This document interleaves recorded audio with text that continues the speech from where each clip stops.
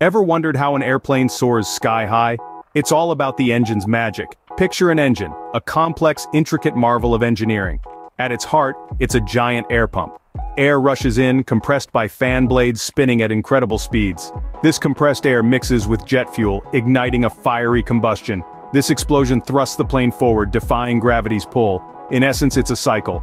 Intake, compression, combustion, and exhaust. A dance of physics and engineering repeated thousands of times per minute. This is just a glimpse into the engine's world, a testament to human ingenuity, making flight not just a dream, but a reality. Remember, next time you're soaring among the clouds it's all thanks to the rhythmic dance of an airplane's engine.